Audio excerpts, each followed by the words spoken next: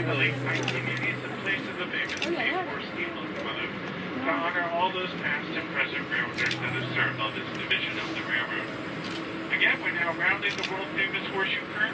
If you're seated at the rear of the train, you might see our locomotive engine number 145 as it passes around the curve today.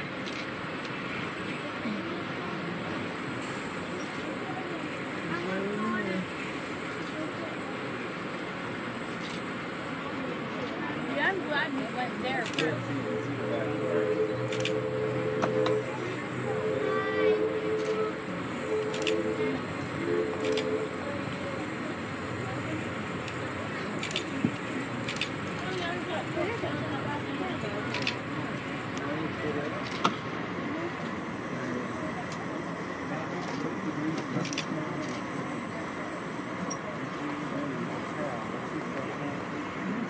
Hey, there's that notch sitting up.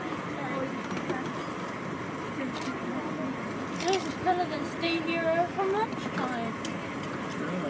I think you were on the rail. No, look, not my rail. That's not my rail.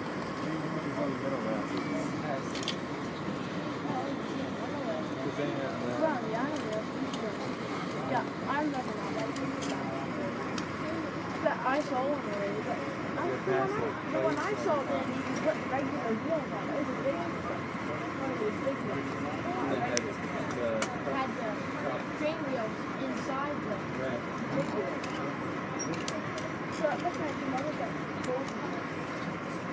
I think they just got the drive wheels a little bit road ones oh, on the on the top.